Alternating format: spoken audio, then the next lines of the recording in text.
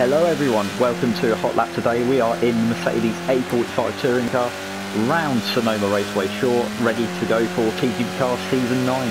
So, Mercedes, one of the touring cars out of the four you can use this season, and this is one of the tracks on the calendar, one of the eight rounds on the calendar. So we're just going to come up to start a Hot Lap round here, down to second gear, getting ourselves set up for this long, kinky straight, shall we say, heading towards turn number one.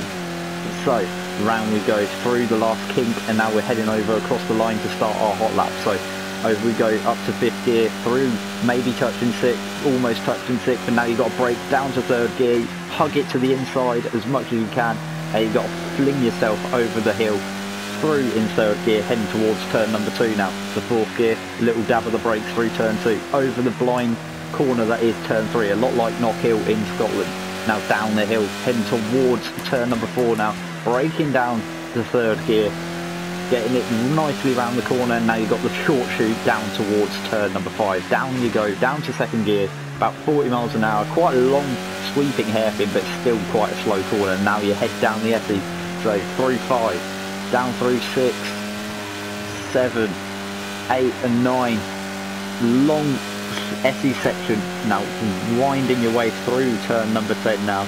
Comes at you thick and fast on this circuit at Sonoma little dab of brakes. Use the lift off oversteer to your advantage. Coming towards the final corner now. So braking down to second gear. Long hairpins long hairpins and corners coming at you fast is the key around here. You need a good exit around this corner. It's quite long straight down towards turn one even though there's a couple of kinks in it. So through the final kink heading across the start finish line and that has been a hot lap of Sonoma Raceway Short, ready to go for TGP Cars Season 9.